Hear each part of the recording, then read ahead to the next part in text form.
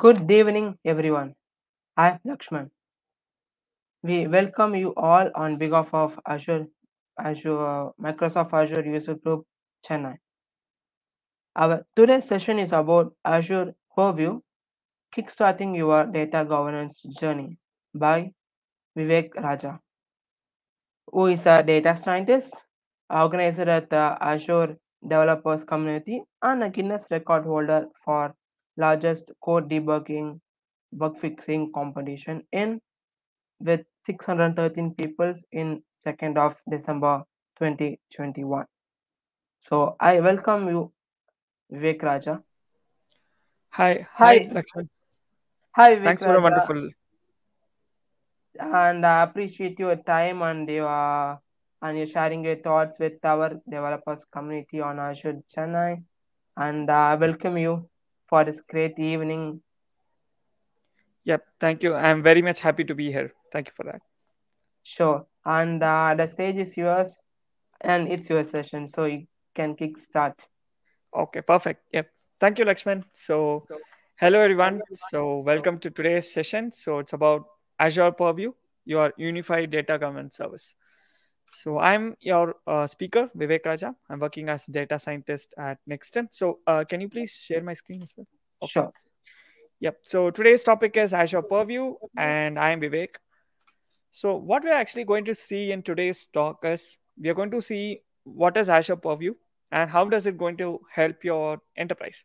So that really uh, helps you to understand how you can manage your on-premise, multi-cloud, your software as a service data, and also how you can actually mine and maximize the value of the data and get insights out of it. And also we will see how to implement implement and customize your Azure Purview.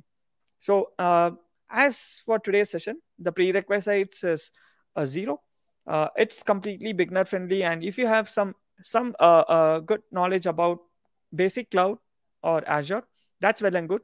But if you're a person who's from a developer point of view, or an architect, or a or someone who is working as data analyst, data scientist, then this session might be really helpful for you to upgrade your infrastructure.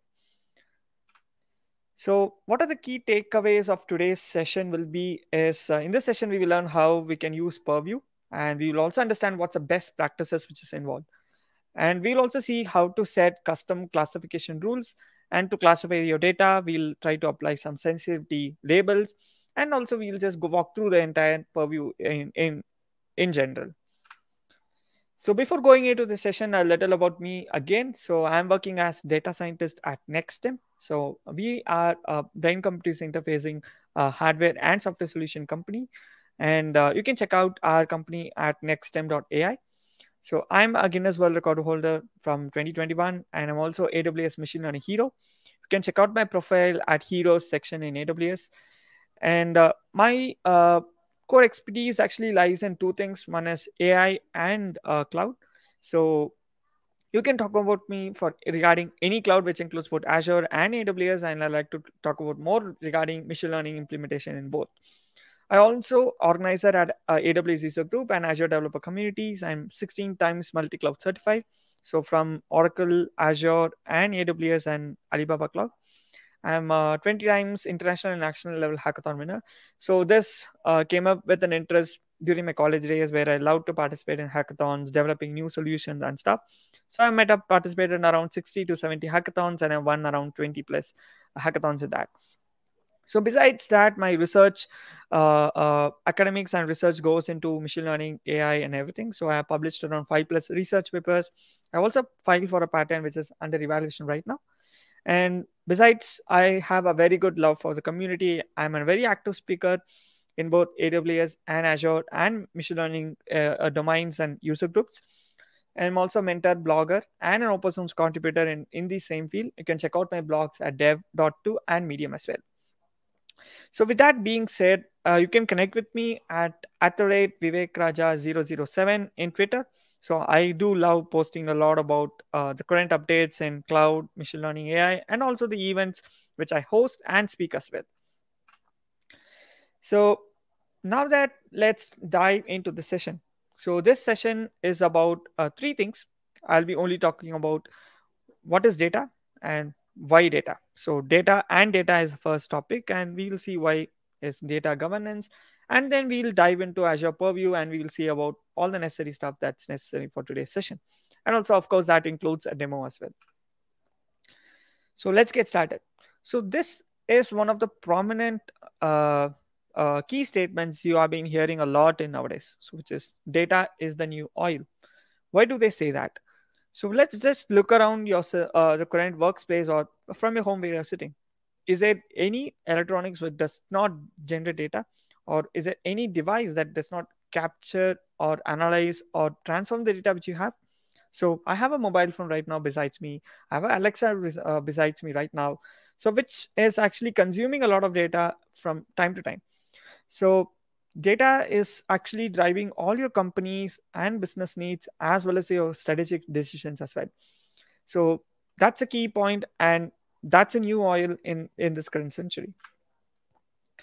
So with that being said we understood what's the importance of data we have. Now let's understood the the volume and the uh, the associated quantities of the data. So how big is big? So in the sense i want to say how data is actually uh, is big and how much it's generating in, in daily uh, scenarios. So around 90% of, I think these two statements very well define how data is important. So which means 90% of corporate strategies will cite information as a critical asset by 2022. This was released by Gartner. And also the expected value of data generated annually will reach around 175 zettabytes by 2025. So this is an annual count, not the total volume. So the velo- the volume and the velocity is increasing at an enormous pace. So to keep up with your infrastructure and and, and a way to actually maintain your complete uh, data infrastructures and pipeline, there is there are a few things that we need to do. So that's where your uh, we'll see about this in today's session. So this raises a couple of questions. So data is everywhere. We understood how big is the data and how important is the data. So data is everywhere, but how do you really manage it? So that's one question. And second one is even though if you know how to manage your data, but how do you really understand what's insights your data is coming from? So that's second thing. And third thing, yes, of course, like if you need to actually understand or get insights from the data, then you have to transform and manipulate data from it. So there should be some ways and strategies and some uh, operations and transformations that needs to be done. So with that being said that's that's one thing. But the main important aspect is how do you actually keep your data free uh, secure and also free from other stuff uh, which includes sensitivity and maintaining some privacy as well and transparency of course. So how do you actually manage all these stuff in an enterprise? So imagine if you're a SaaS company and you will be generating a lot of data on daily basis.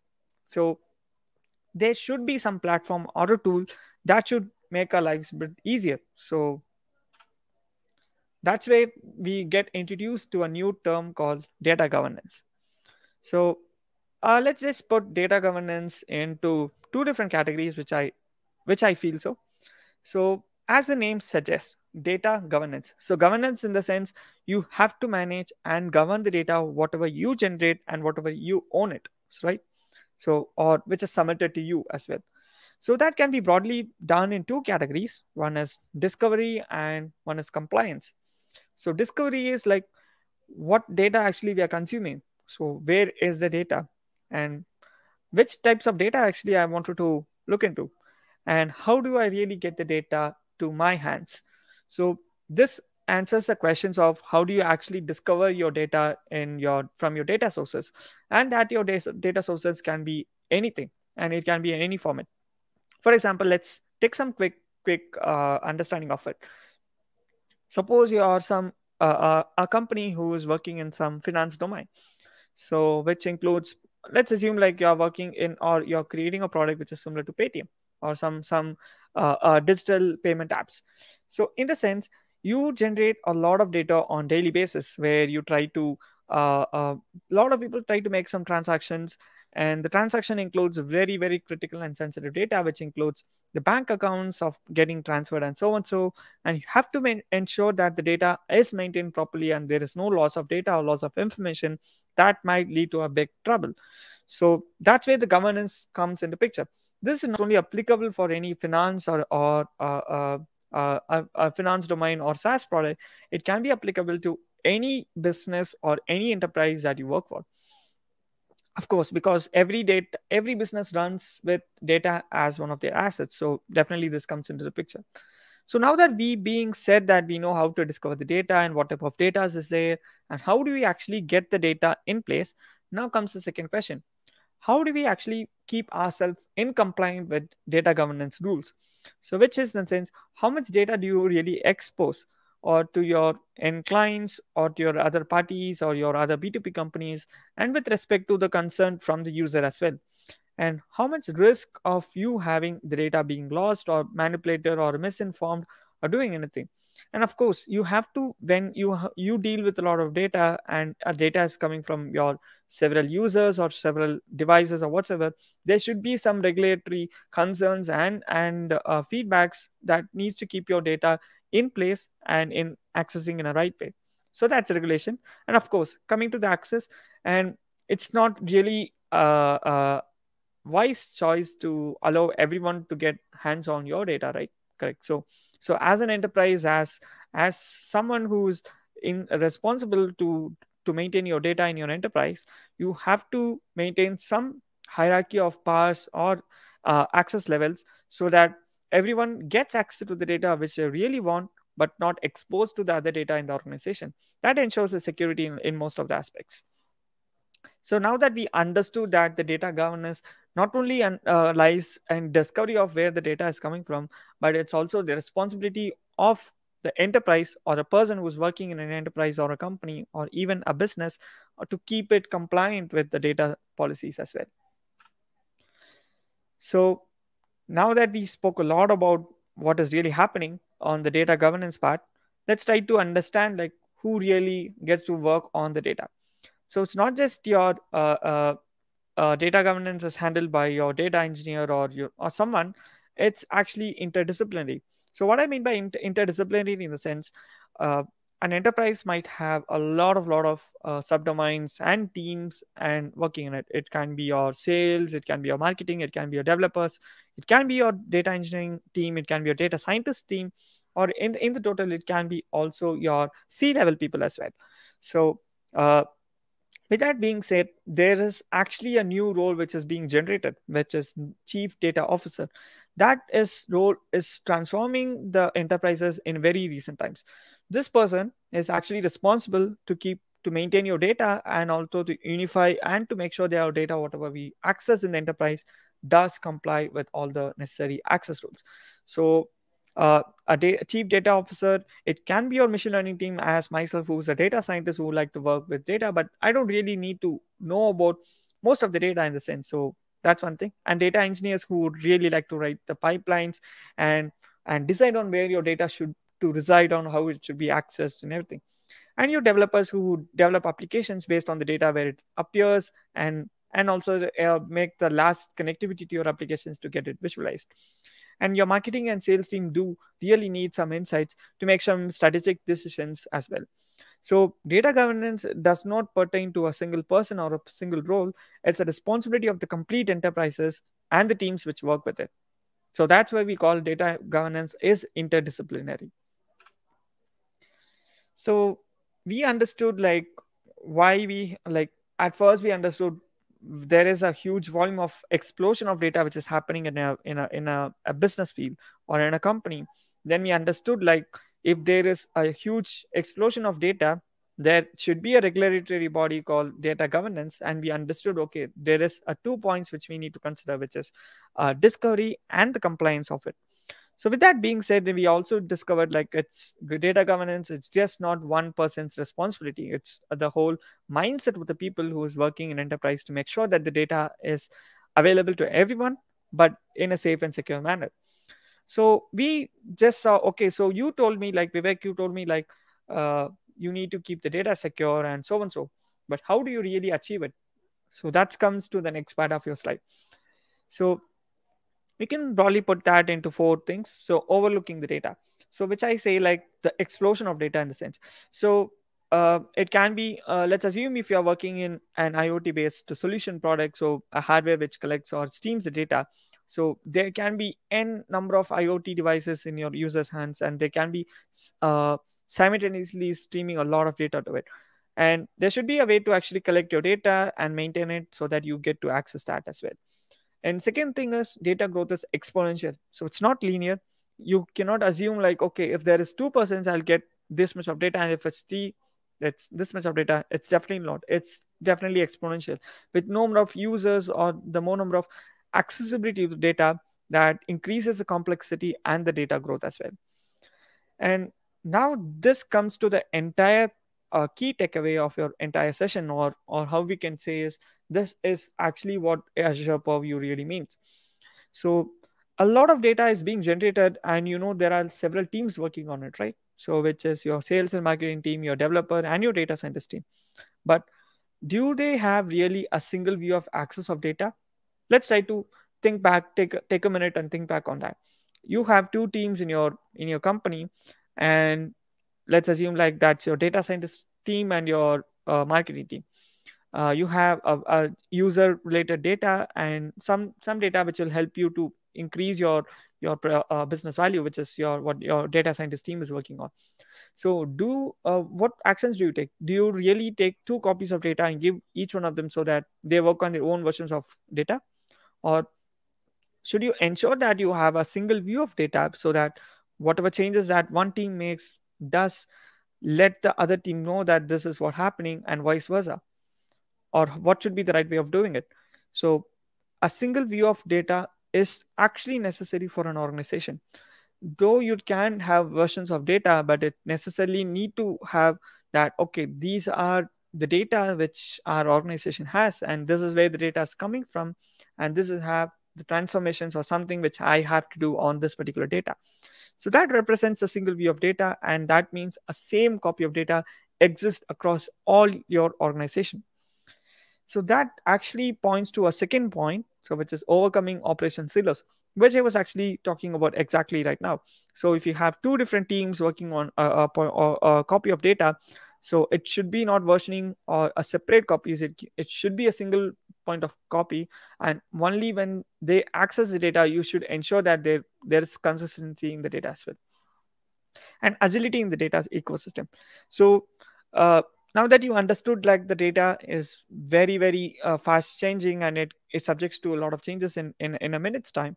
So in even less than that.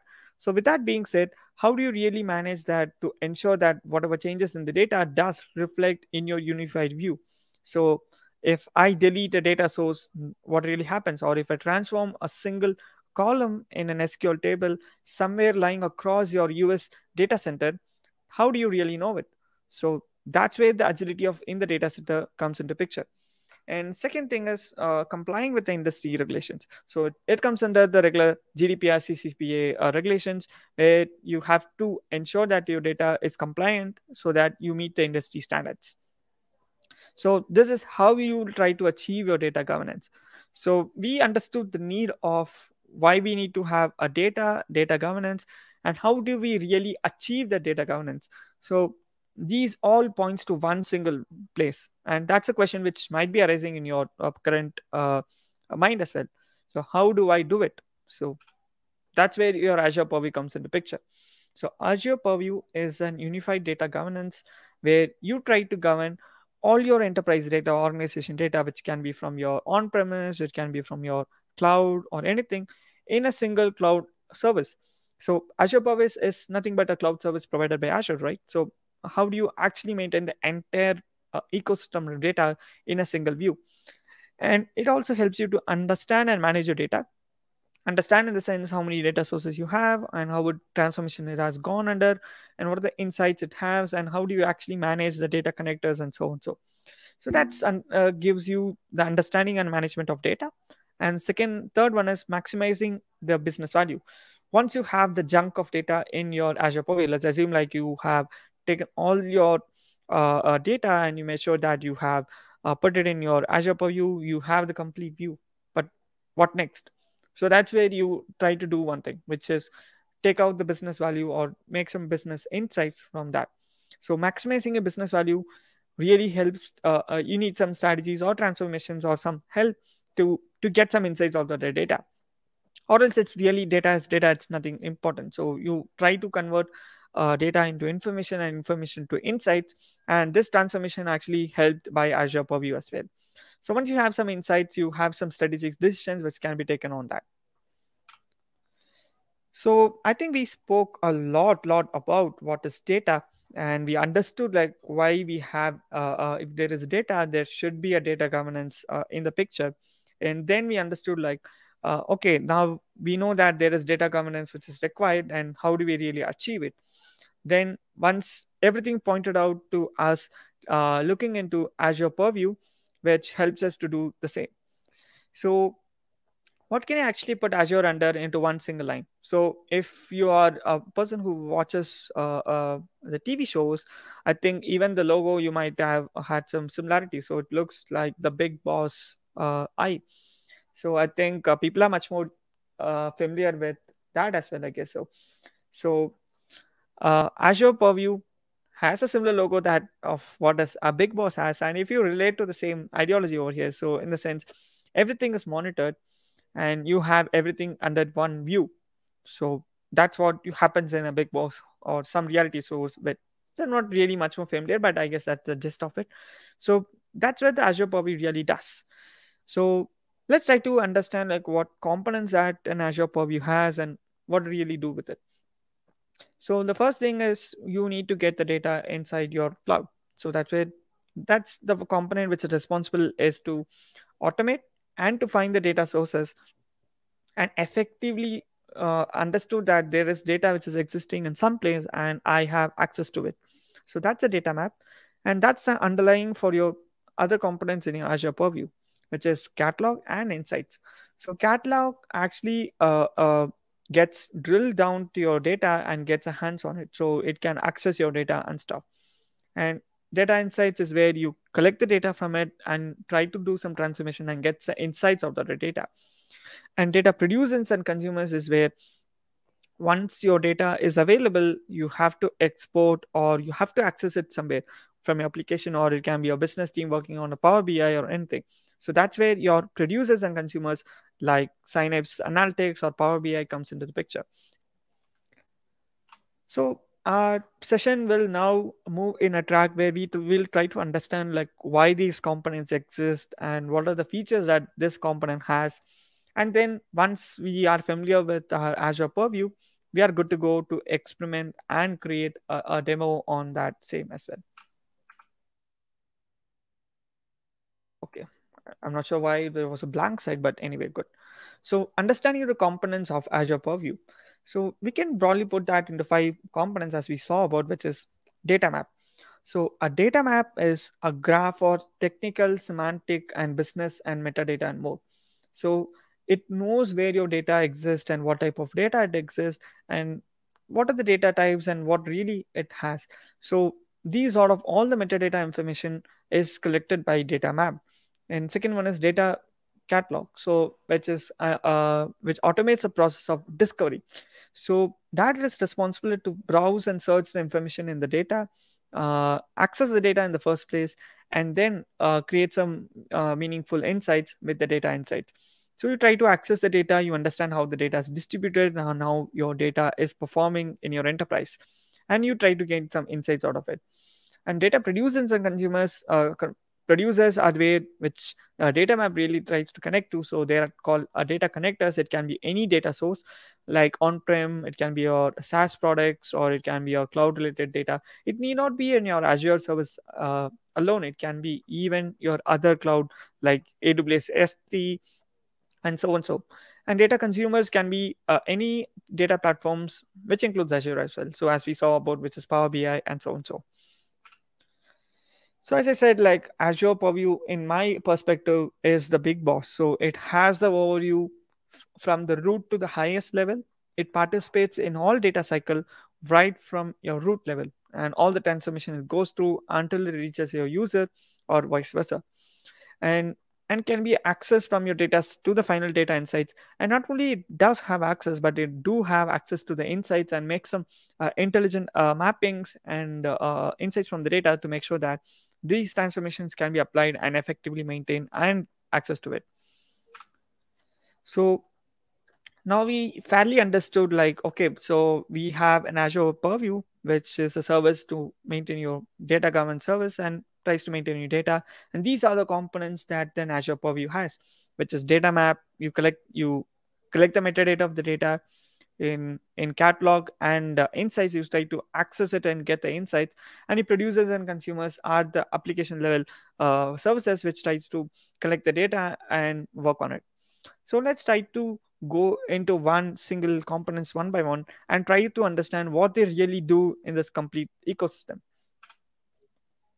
The first one is uh, purview data map and uh, and if you have any questions uh, please do drop in the chat box. I would like to take some questions at the end or even in between. And it can be uh, any questions related to azure azure purview as well. So it's totally fine. Uh, so azure data map. So azure data map is where it lies across your complete data landscape in your organization. So this is the complete foundation of any data governance project. So what it really does so it has an automated discovery so in the sense, uh, what are the new uh, data points or data sources available and how do you actually get the data from it? It tries to classifies and has some extractions available. And it includes the technical, semantic, business, and crowd metadata, the complete understanding of the data, but it does not uh, try to understand it only has the metadata and how the data is there, but it really does not have the access to the data. And the second thing is the entity definition for the industry model. So it tries to have the standard which needs to be maintained for your data so that it meets your industrial requirements. And it's a platform for your purview applications as well. So this is the foundation of your complete uh, uh data governance project.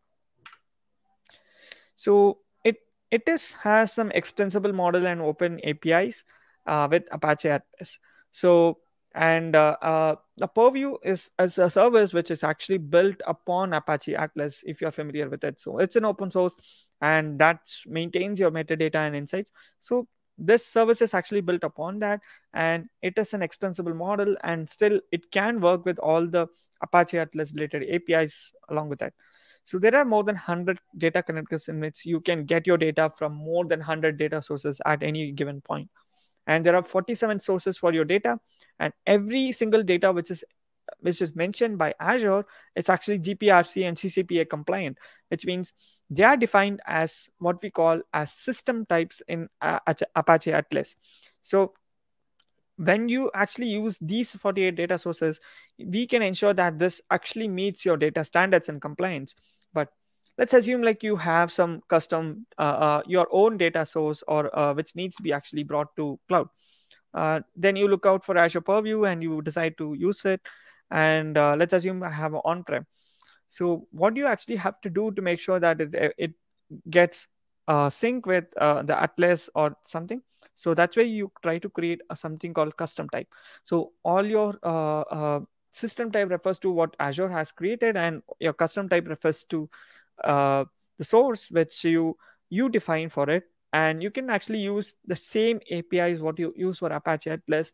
And you can bring your data to the cloud so that's one one one of the important aspects of data map i think we need to really uh, look into with that being said let's move to the second component which is data catalog so it is responsible of few of the stuff, which includes automated data discovery. So in the sense, uh, we try to understand where the actual data is and and also uh, try to access the data and establish uh, uh something to get get access to the data. And data classification labeling. Once you have an access to the actual data, you can classify and label based on the data values and configuration and management as well. So let's try to understand one each by each. So automated data discovery. So this is sort of an hybrid data scanning which you can do in your on-prem as well as your cloud, uh, which scans your all your data sources and then updates with the new newest data which has and also applies some classification rules and services to immediately classify the data based upon the, the basic set of default classification rules, or you can bring your own classification rules as well. And second one is integration runtime. I think this is one of, one of the important thing we need to have a look into it. So uh, in serverless in uh, uh, in cloud it's completely managed by your azure with scalable uh, uh, auto scaling features and stuff it's completely serverless in cloud. But in in in your on-prem you have to install some agents which is like a self-hosted integration runtime agent to bring your data to your azure purview or to connect it. And also it really works with a range of data and it can support actually a, a network topographies. It can actually access all the vnets and also on-prem as well. So azure purview actually has 23 points of presence over covering in 12 geographies. So i think there is one interesting point which comes to this particular uh, uh, point which i actually noticed which is uh, so which is uh, why do i actually mention that there is 23 points of presence covering 12 geographies? Let's assume uh, your Azure Purview is actually hosted in Central US and you have a data source which is existing in India. So let's assume that in your Central India region, uh, you want to access your data. So your your uh, data map actually knows that there is a service which is existing in Central India, and this type of data is what really exists over there. Let's assume like it's an SQL server.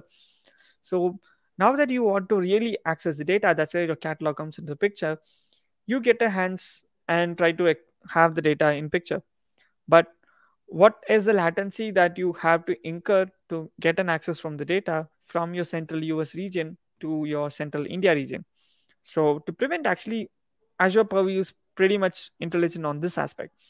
So it does not really have a complete access from region wise to region but what it really does is it spins up a, a, region or a purview service to extract or to access the data in central India, gets a complete access of the data, then it pushes to your Azure Purview organization, and it actually dissolves the, the service which which was uh, temporarily created. So Azure Purview is intelligent enough to handle these sort of uh, really uh, uh region and your uh, uh, network topographies as well. So as we said like data map only has a metadata and it's only your data is accessed from your data catalog so which is by your classification and other operators so other operators can be actually called as labeling and lineage extractions and so on so the discovery never actually accesses the real data. It's the operators which access the data. And as i said like the purview takes care of region wise classification operators and can auto scale which is exactly which i was talking about right now. And it has around 200 plus data classifiers across personal government and etc I, I don't think so. Uh, uh, it will be much more better if we can look into the classifiers when we have a demo. And you can also create your own classifier. So classifier is where you establish a classification rule and when there is an incoming of data you try to classify your data and put into right right pictures or right categories. And you can establish your own custom classification rules and also you can label your sensitive data. So this is what your azure uh, uh, data catalog uh, helps you to so now we understood like data map knows the metadata data catalog has some operators like classification and and uh, uh, sensitivity which actually accesses the data and does some initial transformation and time so what does actually data insights do so it tries to understand the asset distribution across your whole organization and your region and your teams and everything. It has some logical connection how your data is and should be grouped within your your organization and analysis of business glossary terms. So it can actually have its own glossary terms from your own uh, data points which you have. So in the sense you can, uh, uh, for example, if your enterprise has some new business term uh, that needs to be incorporated in your whole uh, data platforms, then you can create your glossary term and a set of uh, rules to associate or to identify that. Once you've done it, your Azure Purview takes care of identifying that particular glossary across your entire data landscape. So it's it is that very insightful to get it. And sensitive data classification, it tries to uh, uh, assign or classifies the data in uh, which is has some sensitive information like it can be your name or your personal details or your financial details like credit card and so on so. And make sure that that is maintained and classified so it meets with your obviously your compliance issues. And the second one is the data movements across data assets in your data map. So assume like you move or merge or you separate data in your in your particular data sources that needs to be identified and mapped along with as well. And the other thing is like geographic movement where you can move your data from one region to another region. And also uh, and also you can uh, share your data across your organization and also you can move your data across the cloud. So it can be from your on premise or it can be vice versa as well. So uh, with that being said uh, we understood okay these are uh, uh, uh, the, the the components which is existing in azure purview which is your uh, data map which gets a metadata get a catalog which actually tries to understand classify and uh, label the data and insights is what really understands your data in a complete picture so I think uh, uh, before we actually start with the demos, I think it's best that we understand that there are few best practices which needs to be followed. So which is a single Azure Purview account for an entire organization. It is not really necessary that you have to create your Azure Purview accounts for each team in your organization. It's only one account is necessary for your entire organization where you can actually assign uh, leaders as well as data owners for separate collections or logical entities of the same. And you can also uh, fulfill your compiler's requirements. And the only way to suggest having multiple purview accounts is for testing features. For example, if you want to really have a development account and a production account, that's only when you have to create two accounts for it. You can protect your sensitive data and you can also consider design requirements of collections and glossary and more. So you can look into the uh, best practices in your Azure documentation. And then uh, let's jump into the demo. So i think we have seen much much much more enough that we have full understanding of what is data what is data governance and we also understood like why we have azure purview in the first place. And also we understood like what what azure purview really does. Okay so with that being said i, I really don't want to extend or, or keep dragging on these concepts uh, but this is much more necessary for, and right away for us to get start, started with azure purview so give me a second and I would like to take some questions if any. And meanwhile, I'll take a uh, 30 seconds break for myself. So and switch to my Azure portal in meanwhile. So thank you. So if you have any questions, try to drop that in your comments. I would like to take that as well.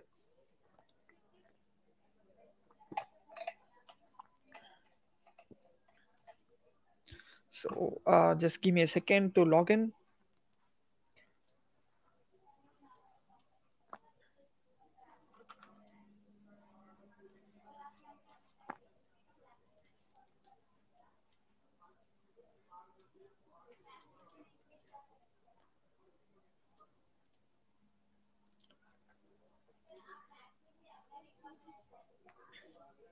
Okay, so let me share my screen again. Mm, yes.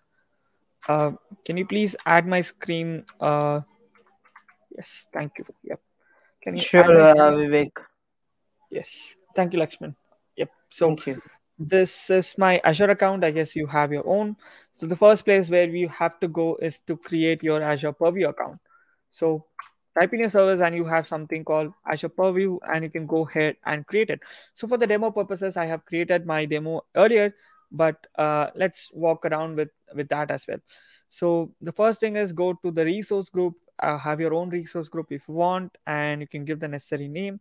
And there is something called a capacity unit by which you actually get uh, a build according to it. So make sure that you have a quick quick run through on the pricing and strategies to make sure that you don't incur any much more cost on it and then secondly uh, go for the networkings i guess the these we can go with the defaults and once you have created with everything i think we can head over to your azure uh, purview account which looks something like this so you have IAM policies and networking and sorry so to interrupt you uh, Vivek, yeah, sure. uh, could you please zoom in a little bit so that uh, people can able to see it yeah yeah, yeah okay yeah. yeah sure Yes. Uh, is uh, this better? Yes, it seems better now. Thank yeah. you. Okay. Okay. Great. Yep. So let's head out. This is your Azure Purview account, but this uh, an Azure Purview Studio is where you try to do all your necessary operations and stuff. So let's go to your Azure Purview Studio, which opens something like this. Okay, let's see what we have in Azure Purview. So, so in the sense there is something called browse your assets you can manage your glossary there is something called knowledge center and there are some recently items my items what your own and some links to it as well So let's start it from one by one. So first thing is to actually get our data into the picture.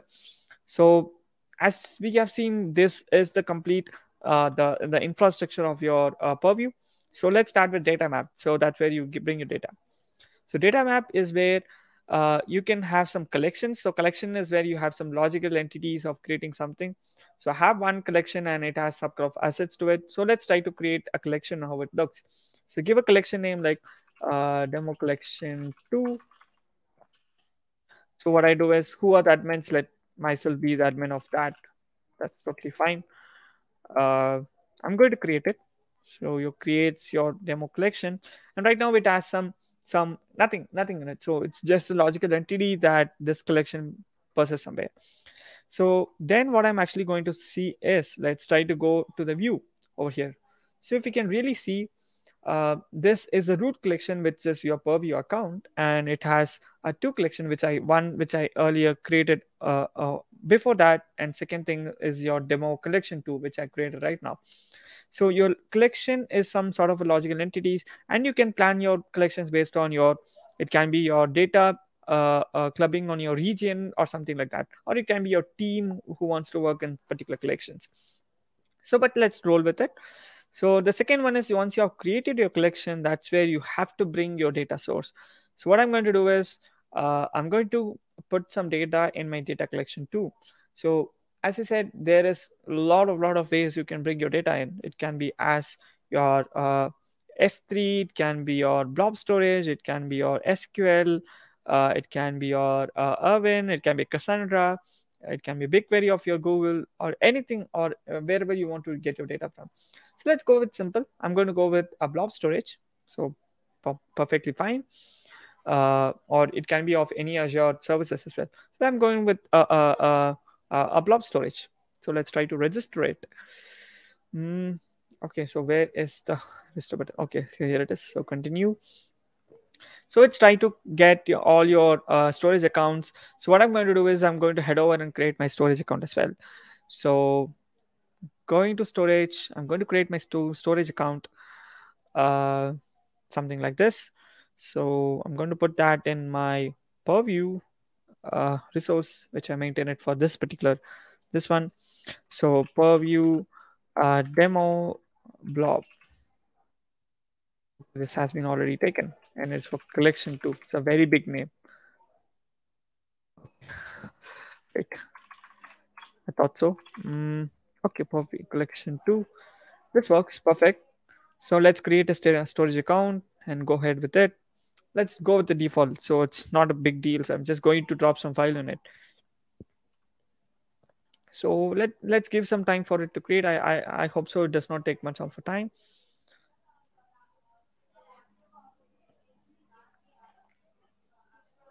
and once you are actually done creating your storage accounts which you will be seeing over here for that so the deployment in the process so we won't be able to see it but soon we will be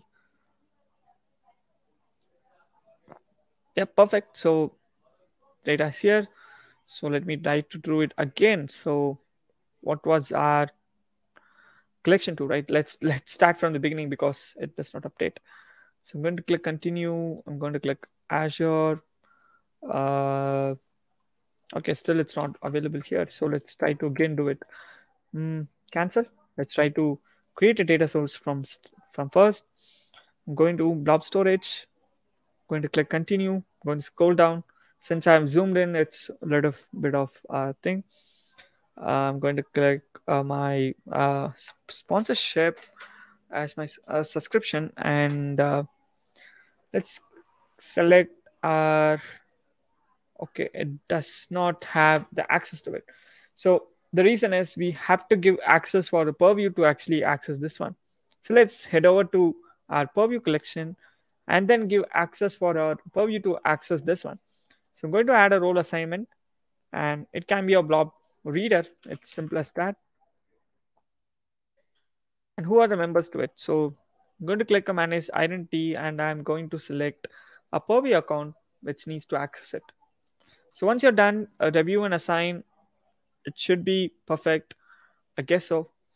And Yep, perfect. So we have assigned the rule. So uh, now I guess our data should be accessible over here, or, uh, just to make sure that it.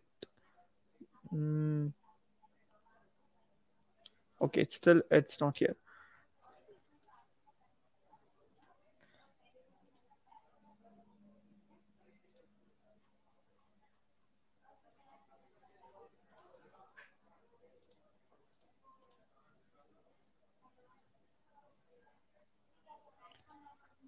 Think if I'm not able to scroll it properly or if I'm missing something over here. Okay, let's not worry about it, but still we have something in place to get our uh, storage accounts into picture. So, right. Mm. Central India, this is not, this is our earlier uh, demo. Let's go with it. It shouldn't be a big issue for us, but let's try to refresh and see if we can bring my new oh perfect i didn't actually refresh it so that was one thing. So let's go with our new uh, thing which i've created so far which is the purview collection 2 i'm going to register it and yep voila we have your new storage account over here. So what i'm going to do is i'm going to let uh, this one get access to our blob storage. So how do you really scan this particular uh, data source to get all the necessary details that's where you establish a new scan for it. So there is few things which you need to give access to which is our purview system must be able to access a blob storage which we actually done right now. So i gave an iam role for it. So this is a scan and i'm setting up a scan to to get all the details regarding it and ensure that this is your data map. So it does not really access your data it accesses your data metadata right? So let me test the connection and to see that if it if it has the access to it. Perfect. So the connection is successful which means since i've given my purview and access to our data storage it can now access the data. So i'm going to continue. And this is the scan which i'm going to do. Right now there is something called scan uh, rule set. So by default what it does is uh, uh, uh, okay view detail. So it's where it tries to uh, azure really has some classification rule in the sense for government related details it can identify uh, for argentina some national identity number australia it also falls for india as well i guess. So india has a pan card and Aadhaar card and it can identify both in our uh, in our data as well. So these are some classification which actually has some regular expression or something which can easily identify the government related details. For financials it can be your credit card debit card details ifsc code for india and so on so and base is where your base classification personal is where your age date of birth email address uh, gender and your phone number and so on so it has in it. And security like common passwords and access keys and so on so and miscellaneous like ip address and so on. You can create your own custom rules if you want to. Let's try to create one custom rule for myself which i have actually done right now. So sensitive in the sense i want some sensitive details needs to be collected and done. So that's one of the sensitive mappings and classification rules. Now let's try to uh, run a scan on it. I just want to run it once. I don't want to do it frequently for demo purposes but you can set it as well. So save and run. So what do you think you will be actually seeing will see under our scan rules once we have scanned it? Actually nothing because we don't have any data in our storage account. So for that meanwhile while the scan runs and gives an answer that there is nothing which is available in the storage account let's head back to the uh, data map where i already have a collection created and there is a storage blob.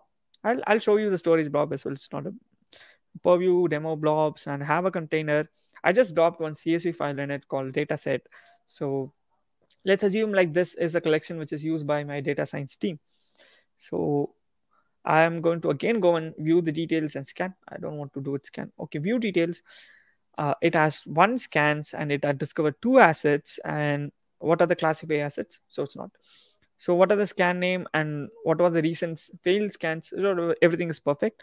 So how what was a, a, a, classification that we can also apply as well let's assume i want to uh, these are the classification which we are actually seeing in your scan right so which there was some classification i think this is what the, they were actually trying to say but you can create your own own stuff So what I'm going to do is I'm going to create my own classification rule in the sense if a person is employed, I need to put that as a new category. So my class rule is where uh, uh, I'm going to give a regular expression. Uh, sorry. Okay. Uh, sorry for that because my light actually switches off if there is no inactivity. So I have to do it from time to time. Uh, so yeah, so this is a data pattern where I wanted to uh, get some data pattern where if there is no S or something, I need to put that into some for this particular category of my data, column of my data, I need to put it. Test the classification rule if it really works. I'm going to drop a file which has actually called self-employed uh, column in it. Yep, so it has one classified columns, so which is perfect, working perfectly fine. Ah, why is this is not, I'm not able to click. Oh, this is weird. Okay, let me reduce the size and see if I can click it. Okay, that that was an issue. Uh, it's, it's not much responsive, as you know. Azure uh, websites are not much responsive, but just bear with it. So I guess we got the crux. Like I right now can edit a cl class rule and so and so. And once I actually done with the class rule, you can establish multiple class classification rules, and then you can create your own class classification to it. So I'm creating a new class called new class.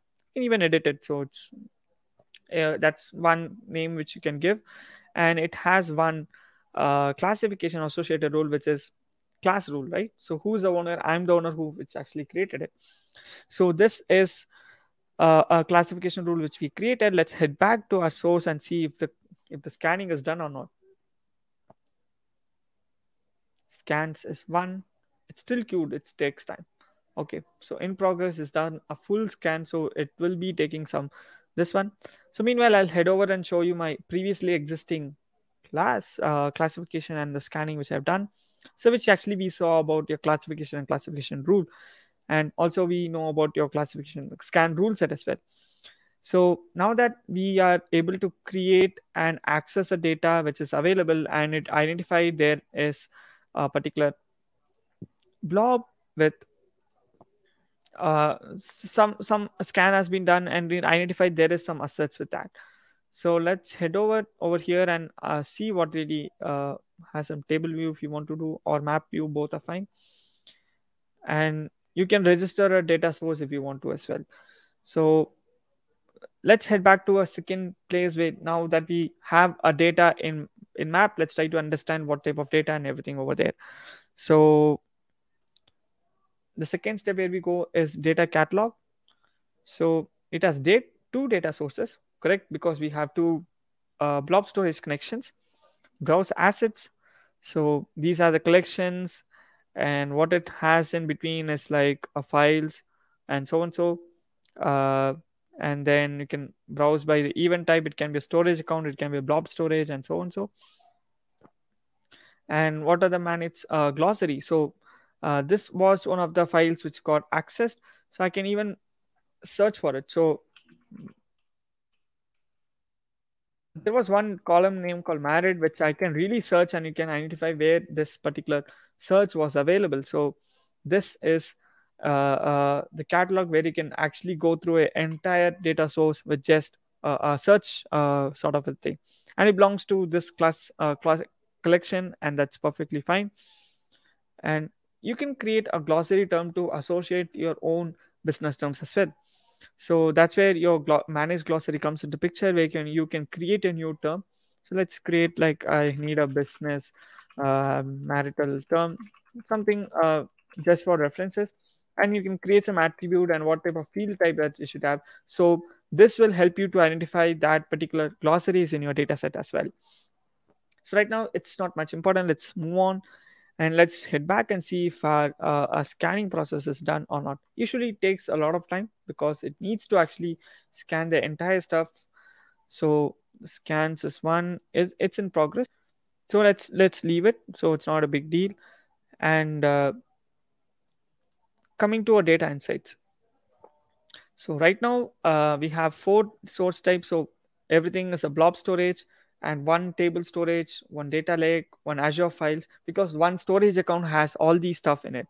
Correct. So if I only connect my blob storage, this is an access. If I connect my old storage account, I can get an access to a storage, table storage, and Azure files, and so on and usually it takes a lot of time to generate it, it, insights. So it was actually generated at 5.30 whereas i actually created this demo at 3.30 it takes a hours to actually get this insights on up and ready.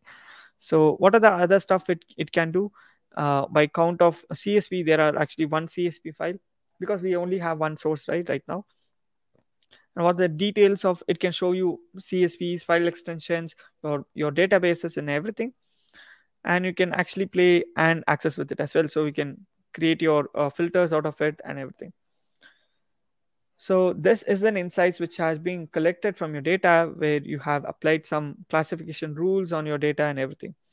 So yep scans are in data map. You can create a glossary if you want. You can apply your sensitive uh, uh, data if you really have something over it and uh, uh, you can have your classification insights. So this was created at the uh, uh, this one. So it actually takes three to eight hours to reflect it. So since it was created at 3.30 it might take around a couple of times. So probably you can once you actually done everything it does apply everything and it brings out your whole insights in next in next three to eight hours. So but yep uh, you can check back it whenever you're ready. And for demo purposes let's let's move on. And uh, I think that covers our, uh, our data map and your data collection and your data insights as well. But yeah, let's try to again get back to our data map and try to see if our uh, new uh, thing is it's done or not. So since it's a full scan, it will really take some time. It's still in progress. What if I do a new scan and before that I'll try to upload a data over there. So collection two is what I have to do. I'm going to create a container Mm.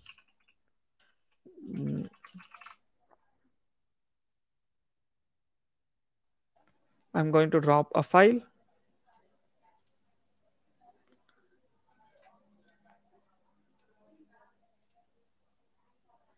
Okay, perfect. So I have dropped it and it, it got uploaded as well. So perfect. So let's try to go and create a new scan. What I'm going to do right now is uh, an incremental scan to make sure that uh,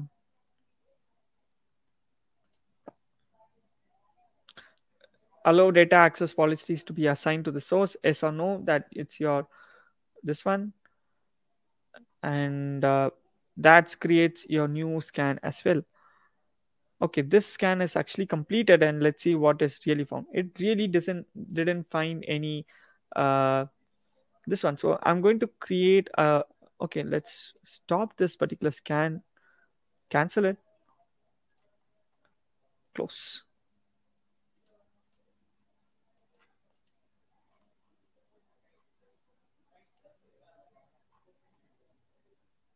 Okay i'm going to close it. So this let's let me try to create a new scan over here.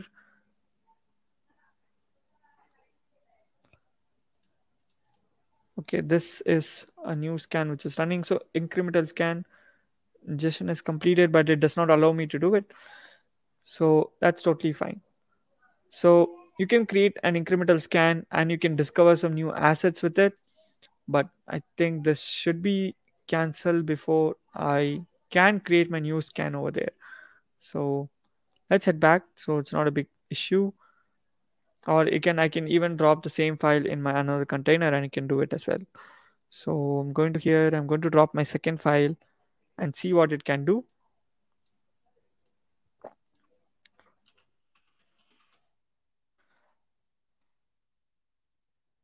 So I'm going to upload the same file over here or some other file whichever feels convenient.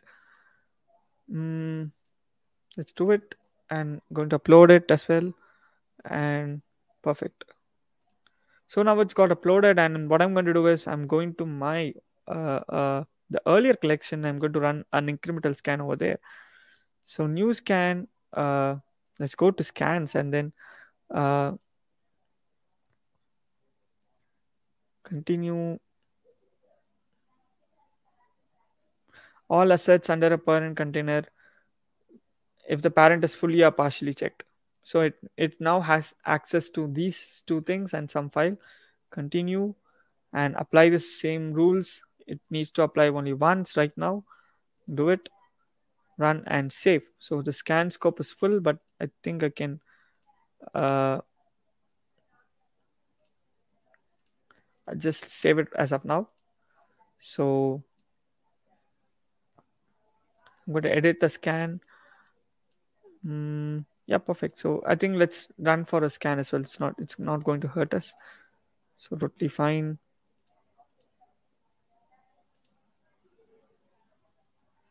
so it can actually create a new scan as well. So let's head back. If i can access my second uh, data maps collections uh, data. So one scan has been done. I don't want to edit the source. I'll just go over here. Uh, right sorry.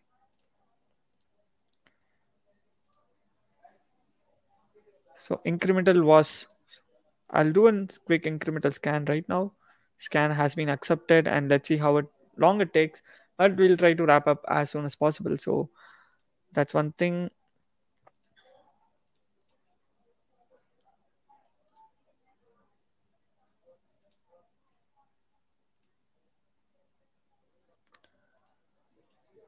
So this is currently queued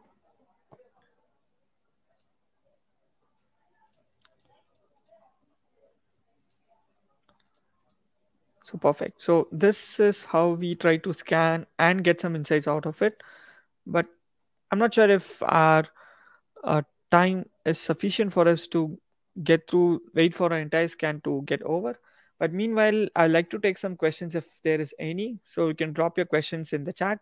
So apart from that uh, i think uh, once your scan is ready you'll be able to access your assets and once your assets are ready it will take some time for you to go ahead and get some insights from your data insights. It might take three to eight hours for that. And once that is done, you can establish your glossaries, classifications, and everything, and try to work with the data as well. So, so I think, uh, sorry again.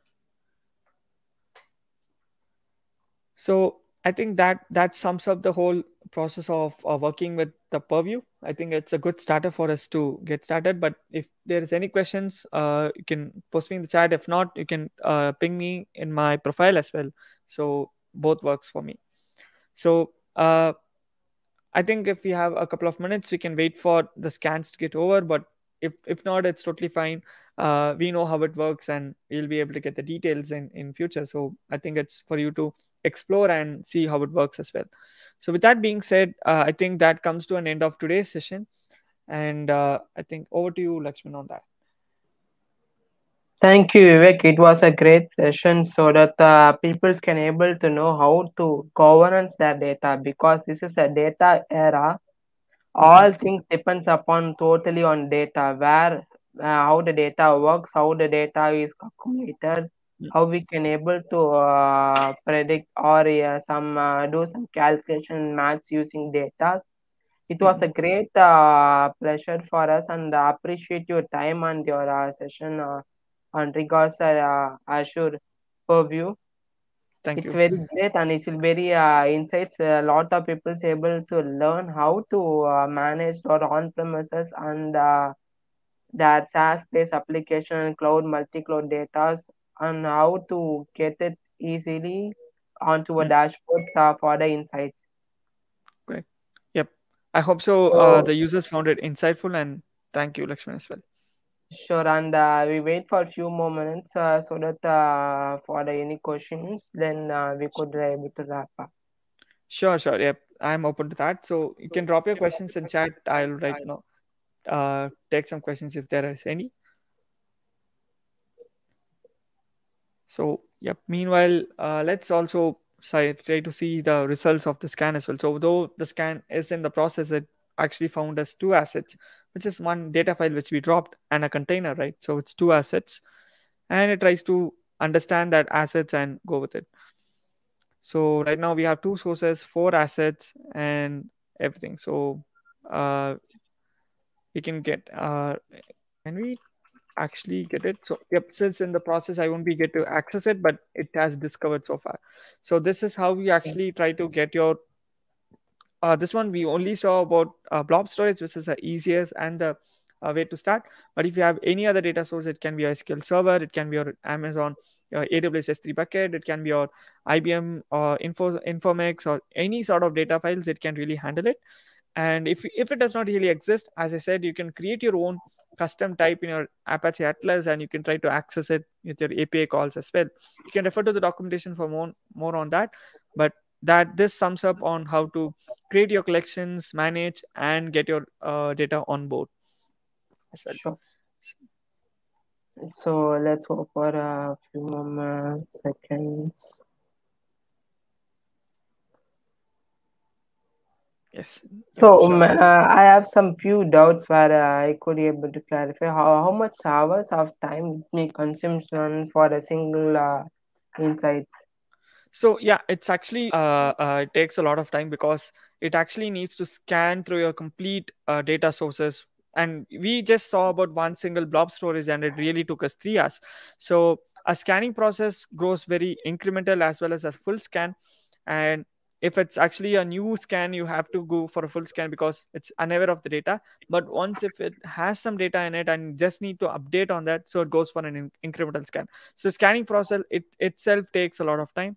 Once your scan process is there your azure purview on your backside on your behind the screens tries to understand the data and, and bring some insights out of it. So that's where it tries to uh, create your complete holistic overview of how many insights it have and what are the data sources and what type of files and what type of uh, resource sets and what type of glossaries and classification everything you will be able to get it. So it, it usually takes around uh, three to eight hours to generate a solid insights but it gets updated on the fly as well. So uh, that initial setup is quite tedious because you are dealing with complete your data infrastructure but i guess that's the time you have to invest and efforts you have to invest to to bring everything on board So once we have got our pipelines and all our setup connections ready, whenever the data changes happen, it automatically checks for some incremental data scans and uh, processes the data and uh, giving the insights for us to what happened. Yes, exactly. So uh, since data map actually supports automated data discovery, so it goes for an incremental scan, which you can actually schedule it from time to time. So you can either do a scan in one time or you can do it recurring as well. So whatever you feel so far, and that's how you bring all the data. So for example, if you are from a marketing team who has just injected a new data into in our organization, uh, this purview actually gives a holistic view that this was actually happened and everyone now aware of that that a particular data has been actually injected into a complete data ecosystem. But of course that comes with a security and access and permissions. So you don't really have need your developers to know about your marketing data and vice versa right? So you can even set up your uh, uh, boundaries and roles and permission and accessibility to to but as a chief data officers or or someone you will be actually able to have the complete uh, holistic view of your data ecosystem Yes, sure. And uh, so there was mm, uh, not much of the questionnaire at present, so that uh, we could wrap. And uh, it was a great session from our end, from Mhm. your end, so that uh, the people's able to know what actually it is. And most of the people say they even know that this product exists. So it was a very great uh, uh, kind of session where uh, people's able to know and uh, Mhm. get what they are able to and they are able to implement on their application on their on premises on their Perfect. Yep. enterprise based application so it was a great pleasure for you uh, for us to be having in your uh, in our community meetup and I hope we will have a couple of more sessions as upcoming further Yeah, I'm so really looking forward to as well. So thank you for really having me. And yep, so before we actually conclude, so uh, our scan is also completed, and probably so can just have a quick one a view of what our uh, assets have are has been found so far. So we can have there are two assets and there is as well. So in the sense our scan completed and it can now access our test data file as well. So I think that that sums up our whole uh, this one. So test.csv is a file which you uploaded. Now the asset is now available for us to work with it as well. So you can even directly open that in a Power BI and works on a classification. It has all the schemas and everything and what are the column names it has and contacts and everything So this is how you can work with your data in in the whole. So I think we have also seen the complete workflow of a scan as well. So I think that concludes our demo in a perfect way. So thank you for that. Sure. So thanks for uh, your uh, time and valuable uh, time, Vivek, and uh, it's a pleasure for us. So definitely. that wrap up our session, guys, and I hope we are able to learn a lot from Vivek, a data scientist and a Guinness World Record holder. Thank you. That Thank wrap you so up today. Thank you, thank you, Vivek, and have a great day. And have a Yeah. great day for you all, guys. And uh, see you on the next session. So I'm Lakshman with Vivek uh, Raja. Have a great day. Yeah. Thank you. Bye. Bye, guys.